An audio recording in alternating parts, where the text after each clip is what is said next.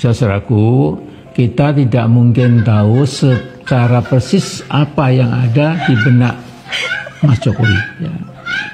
Ataukah barangkali Mas Jokowi ini akhir-akhir ini galau, resah, gelisah melihat IKN yang besar kemungkinan mangkrak dan sekarang juga ternyata Mas Jokowi terbukti telah membawa Indonesia ke keterpurukan multidimensional.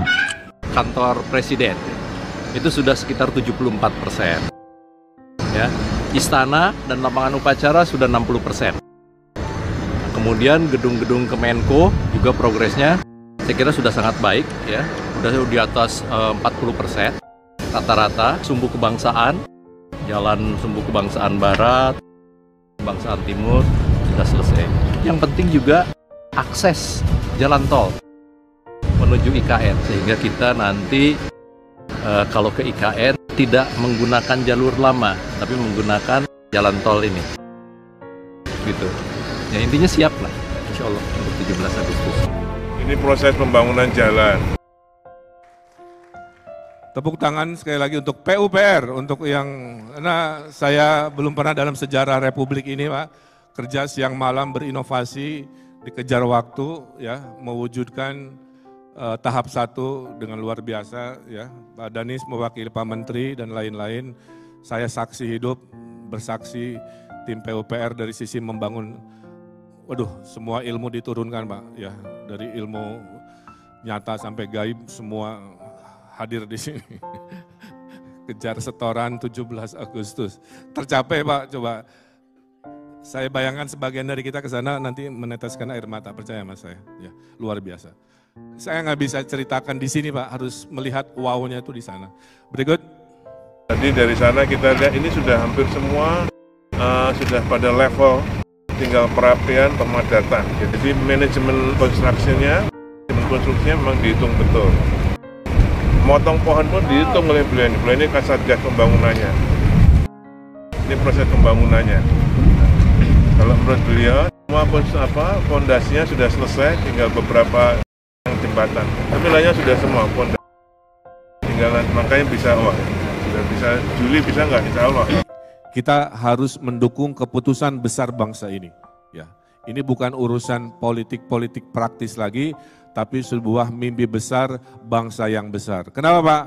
Karena 1945 kita proklamasi sebagai negara merdeka, 2045 kita akan proklamasi sebagai negara adidaya. Dan negara adidaya itu bernama Indonesia nomor empat dunia harus punya ibu kota sebagai etalase, sebagai wajah bahwa kita bangsa yang maju. Dan bapak-bapak yang duduk di sini, bapak ibu harus bersyukur karena kita menjadi pelaku sejarah di hari ini. Ibu kota Nusantara diputuskan di Kalimantan, tapi tidak di Palangkaraya karena kita butuh unsur air e, lautan yang menjadi bagian dari ibu kotanya. Maka kita pindah ke Penajam Pasir Utara di sini. Bapak Ibu kalau ambil garis Pak, itu kalau naik pesawat Pak, kurang lebih 3 sampai 4 jam ke arah barat, ke arah Aceh ya. Dan dari IKN ke Papua, ke Manokwari juga 3 4 jam.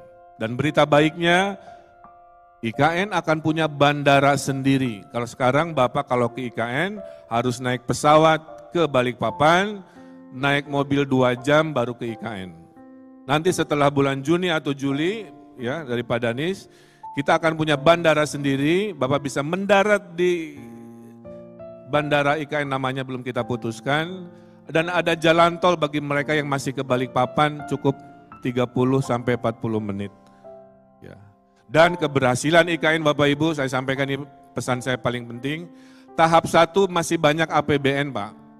Tapi tahap dua, tahap tiga, tahap empat, tahap lima, kami mengundang seluruh ekonomi pebisnis dari 500 kota kabupaten provinsi untuk ikutan investasi Pak.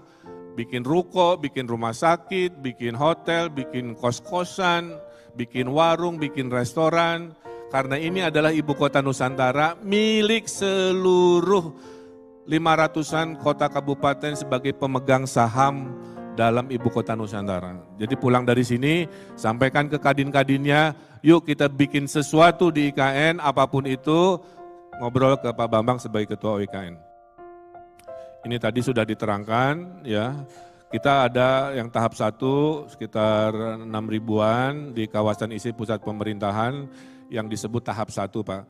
Jadi Bapak Ibu mudah-mudahan terundang oleh Bapak Presiden, kita akan Agustusan pertama di sana, di depan Istana Negara, di bulan Agustus, eh, dan Pak Presiden bulan Juni akan mulai berkantor di sana, karena kantornya akan selesai, istananya akan selesai. Harus melestarikan alam. Pak, di sana tidak membabat hutan, nih pertanyaan warga kan. Di sana itu adanya perkebunan pohon ekaliptus Pak, yang tiap enam tahun ditebang jadi tisu, jadi kertas. Jadi selama ini kawasan IKN itu bukan hutan tropis, itu hutan produksi. Yang tiap enam tahun digunduli, ditanami lagi, digunduli lagi. Maka ini kita bukan membabat hutan tropis. Justru Pak Jokowi dan tim akan menanam 20-30 juta bibit pohon tropis. Hari ini nggak ada hewan Pak, Ya siapa yang karena nggak ada bunga, kalau bunga nggak ada lebah, kalau lebah nggak ada burung, kalau burung nggak ada monyet, kalau monyet nggak ada macan, nggak ada. Nah nanti dalam hitungan tahun kita kembalikan keragaman tropis itu dengan 20-30 juta pohon tropis sehingga nanti bunga hadir, kupu-kupu hadir, lebah hadir, burung hadir. Nah ini bulan Agustus kita upacara di sini Pak, ada tulisan sumbu kebangsaan tuh Pak yang yang kanan bawah nanti upacara di sana sedang dipersiapkan. Uh, terakhir tidak akan pakai tenda, akan pakai payung-payung ya supaya budaya payung-payung Nusantara uh, menjadi simbol kebersamaan. Jadi nanti upacaranya agak unik ya. Kemudian uh, ada kantor presiden yang ada burung garudanya, kemudian ada istana negara. Kalau Bapak nanti masuk ke istana, ke, ke, ke istana negara Pak, semua budaya ngumpul di situ Pak. Ada ekspresi Papua di dindingnya, ada ekspresi Jawa di apa langit-langitnya, ada ekspresi Sunda di pola lantainya, ada ekspresi budaya Minang di ruang kenegaraan. Kan nggak pernah ada seperti ini ya. Itu ada di sini Pak. Bapak Presiden Jokowi itu mohon maaf ya saya cerita beliau pernah curhat ke saya dalam suatu kesempatan. Tiap menerima kepala negara dari Eropa Pak di sana Merdeka tuh suka diceramahin. Pak Jokowi tahu nggak ini tuh artinya anu-anu karena Istana Merdeka kan budaya Barat Pak.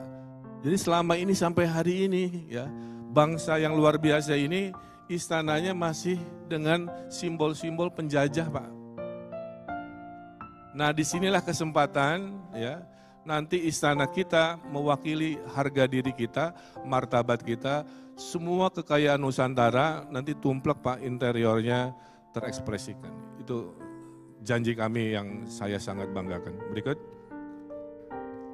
Terima kasih.